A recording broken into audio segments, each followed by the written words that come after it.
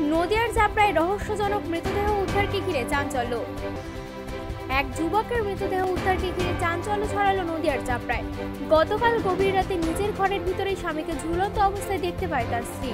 স্ত্রীর চেঁচামেচিতে ছুটে আসে পরিবারের অন্য সদস্য এবং প্রতিবেশীরা। এলাকাবাসী উদ্ধার করে চাপড়া গ্রামীণ হাসপাতালে নিয়ে আসে।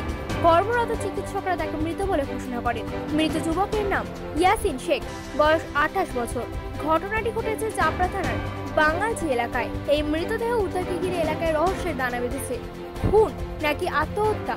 তার ঘটনার তদন্ত শুরু করেছে চাপড়া থানার পুলিশ।